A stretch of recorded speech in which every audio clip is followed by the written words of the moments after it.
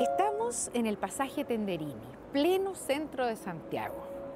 ¿Cómo sería hace 65 años atrás este sector?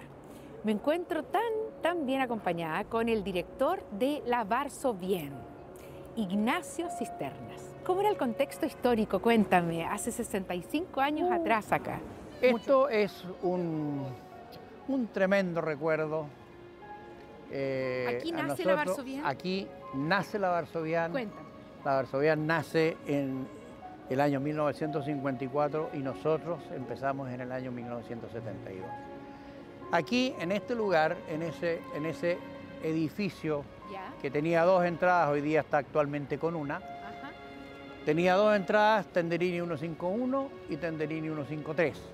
En el 151 había un local comercial y en ese local comercial muy incómodo, muy angostito, ahí se vendía todos los productos de un polaco que se vino a Chile, De una familia polaca. de una familia polaca. Mira. Y en el segundo piso de la casa ¿Sí? vivía este polaco con su señora y su madre, piso, en el perfecto. segundo piso.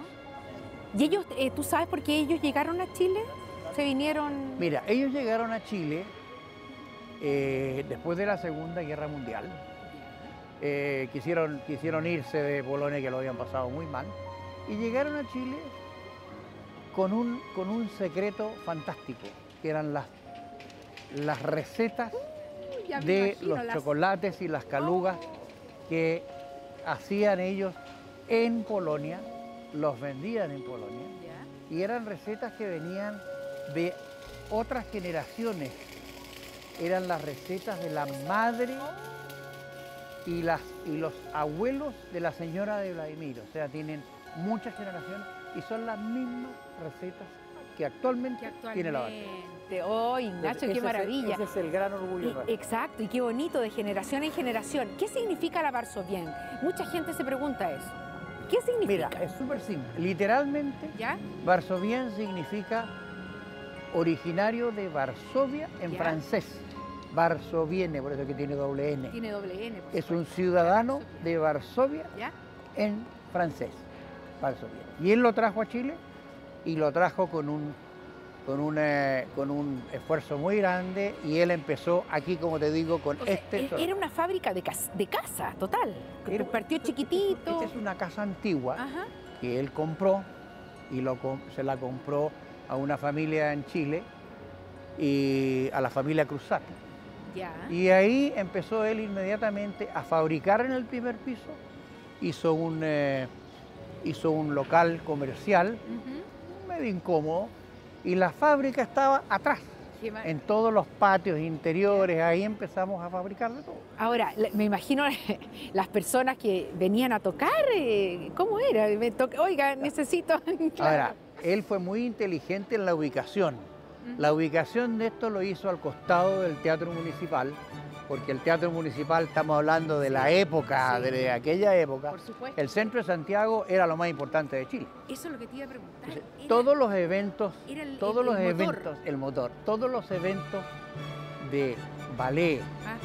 de música, todo lo, todo lo que se hacía en el municipal, siempre todo el mundo llegaba a donde Vladimir a comprar los chocolates o los regalos para eh, eh, entrar al municipal o después llevárselos a su casa. Ignacio, ¿en qué momento eh, tu familia, la familia Cisternas, eh, se incorpora y toma esta empresa que es la Varsovien? Lo que pasa es lo siguiente, ¿Qué pasó con los fundadores después de lo que tú me cuentas? Vladimir, Vladimir Samo- Samoilenko, como te digo, de, de origen polaco, decidió no seguir en Chile el año, el año 70, 72, que dijo que estaba, estaba muy incómodo Ya. y decidió vender. Tuvieron muy buen ojo ustedes. Entonces, ¿qué es lo que pasó? Él decidió vender porque, como te digo, quería volver, quería irse a vivir a Estados Unidos.